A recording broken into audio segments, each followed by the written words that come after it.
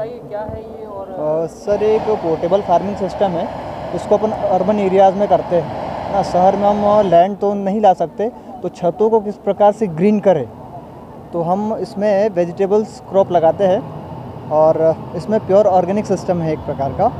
इसमें किसी प्रकार का केमिकल स्प्रे नहीं होता है। इसमें हमें सभी प्रकार की सीजनल क्रॉप्स मिलती है और हमें सभी सीजनल वेजिटेबल लगा सकते हैं इसमें।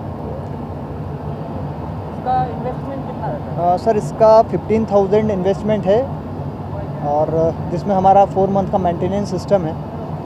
इसके बाद फिर यदि ज़रूरत पड़ती है तो मेंटेनेंस टीम जाती है। अच्छा फिफ्टीन थाउज़ेंड में कितना एरिया कवर्ड होगा फिफ्टीन थाउज़ेंड में सर दस बाई चार का एरिया मतलब चालीस स्क्वायर फीट का एरिया कवर होगा।